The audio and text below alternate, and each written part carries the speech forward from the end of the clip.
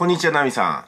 ん。メッセージありがとうございます。そしてですね、ちょっと返信が遅れました。いやー、私ね、この時間ね、完全に寝てるんですよ。すいません。で、えっ、ー、と、今ね、えー、目が覚めまして、4時ぐらいから今日はスタートしようかなと思ってるんですけども、ナミさんのメールを拝見したのと動画の拝見もいたしまして、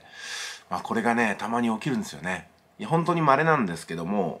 あの、私もね、実はね、あの、こういうことがありまして、私の場合は、あのエントリーした際にあれ？エントリーが効いてないのかなと思って再度エントリーをポンポンポンポン押していったらそれがなんとですね急激な資金流入によっていわゆるものすごくねバスッとね価格が上がった状態で私のエントリーが受付されてるのかされてないのか分かんない状態だったんですよね。でその分全部ポジションが積み上がっていてその全てが利益になってえ一晩で420万というねとんでもない利益を上げたことがあったんですけども当時はね私もよく分かってなかったんでロットも積んでいたのとあとやっぱり連発しちゃったんですよね。いやでもこれね逆をかましてたとなると本当恐ろしいなと。資金全部ぶっ飛んでたと思うんですよ、まあ、それからというものを証券口座に入れてる資金っていうのをまずは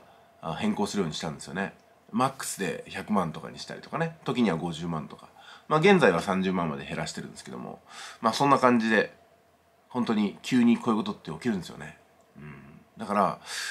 なんかトラブルが起きた時に慌てずにあ今日はちょっと休場しようかなって気持ちに切り替えることが大事です。で XM 証券の MT4 でしたらすぐに担当者の方にねメールをするといいと思います。そうすると早ければ4時間以内遅くとも6時間以内に返信があって対処してくれてると思いますし何がしかのトラブルがあったことをメールでお送りすることによってそれがね追認になるんです。追認っていうのはどういうことかっていうとそれによって起きたトラブルに対しては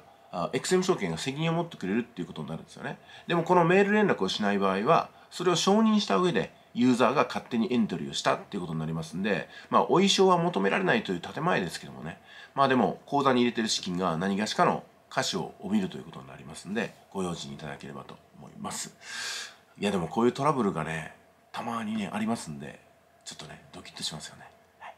えー、今相場の方はどんな感じでしょうか？うん。また解説の方させていただきますけどもずっと動かなかったのがなんと意外にもですねガクンと落ちちゃったにまた戻ってきたみたいな。